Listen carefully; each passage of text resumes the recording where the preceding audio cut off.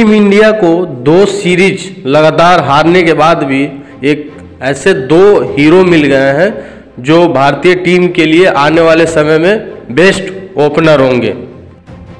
इन दोनों की जोड़ी रोहित शर्मा और शिखर धवन के जोड़ी पे भी भारी पड़ रही है। आने वाले ओडीआई वर्ल्ड कप के लिए इन दोनों का दावा सबसे मज़बूत दिख रहा है।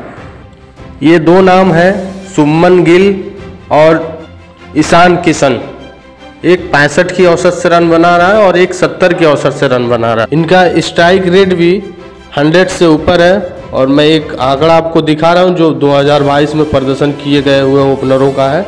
उसमें आप ये देखिए।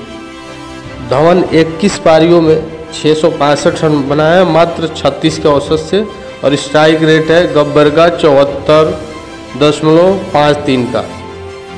गिल ने 12 पारियों में छः सौ अड़तीस रन बनाए हैं और औसत है 70 का।